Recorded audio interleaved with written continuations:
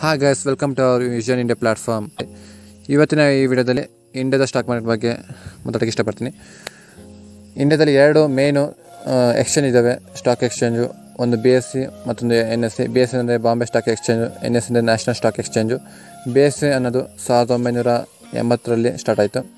ಮತ್ತು N S ಏನದು ಸಾವಿರದ ಒಂಬೈನೂರ ತೊಂಬತ್ತೆರಡು ಸ್ಟಾರ್ಟ್ ಆಯಿತು. ಇವು ಮೇನು ಸ್ಟಾಕ್ ಎಕ್ಸ್ಚೇಂಜ್ ಇಂಡಿಯಾದಲ್ಲಿ.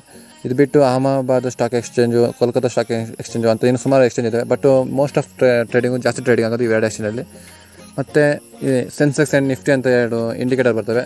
ಸೆನ್ಸೆಕ್ಸ್ ಅನ್ನೋದು ಬಿ ಎಸ್ ಇಂಡಿಕೇಟರು ನಿಫ್ಟಿ ಅನ್ನೋದು national stock exchange N S C indicator ಸೆನ್ಸೆಕ್ಸಲ್ಲಿ top thirty ಕಂಪ್ನಿಗಳನ್ನ ಇಂಡಿಕೇಟ್ ಮಾಡುತ್ತೆ.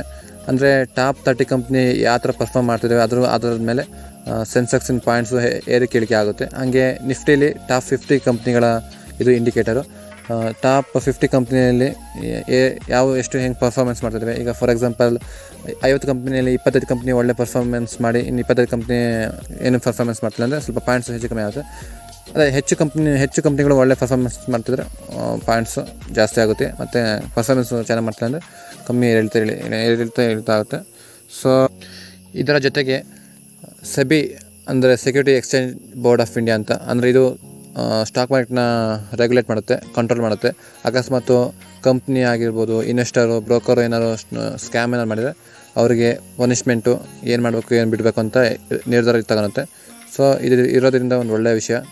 ಅಕಸ್ಮಾತ್ ಏನೋ ಮಿಸ್ಟೇಕ್ ಮಾಡಿದೆ ಏನಾದ್ರು ತಪ್ಪು ಮಾಡಿದೆ ಅವರಿಗೆ ಪನಿಷ್ಮೆಂಟ್ ಕೊಡುತ್ತೆ. ಈಗ ನೀವು ಹಿಸ್ಟ್ರಿ ಹರ್ಷದ್ ಮೆಹ್ತಾ ಸ್ಕ್ಯಾಮ್ ಎಲ್ಲ ಕೇಳಿರ್ಬೋದು. ಇದೆಲ್ಲ ಇಂಪಾರ್ಟೆಂಟು ಮುಂದೆ ಹೋಗ್ತಾ ಹೋಗ್ತಾ ನೆಕ್ಸ್ಟ್ ಟಾಪಿಕ್ ಬೇಕಾದ್ರೆ ಹರ್ಷಲ್ ಮೆಹ್ತಾ ಬಗ್ಗೆ ಬೇಕಾದ್ರೆ ವಿಡಿಯೋ ಮಾಡ್ತೀವಿ. ಈಗ ಏನಂದರೆ ನೀವು ಸ್ಟಾಕ್ ಮಾರ್ಕೆಟಲ್ಲಿ ಇನ್ವೆಸ್ಟ್ಮೆಂಟ್ ಮಾಡಬೇಕಂದ್ರೆ ನೀವು ಡೆಮೆಟ್ ಆ್ಯಂಡ್ ಟ್ರೇಡ್ಗೆ ಅಕೌಂಟ್ ಓಪನ್ ಮಾಡಬೇಕಾಗುತ್ತೆ.